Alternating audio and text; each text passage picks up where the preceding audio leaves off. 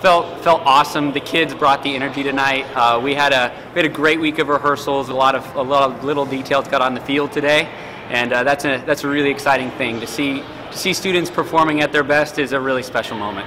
Yeah, heading into a dome is, is a lot different uh, playing environment. So what we try to do is we try to get them to understand that they're gonna they're gonna hear a lot of reverb, but they're not gonna hear a lot of reverb out of their own instrument, and so they're gonna have to kind of separate the two in their heads so we, we do a lot of things like we do a lot of silent drill during the week where they have to they have to march silently while they're on the drum major's hands.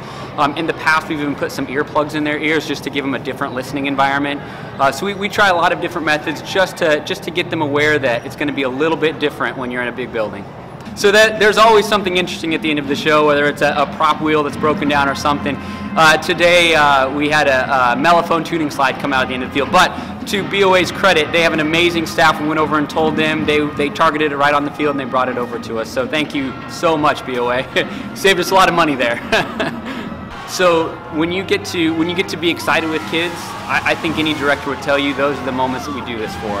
Um, and again, it's it's the excitement doesn't come from from knowing the kids did well. The excitement comes from them knowing they did well. And what a special moment that is. So anytime we can take part of that, anytime we can treasure those, we, we do.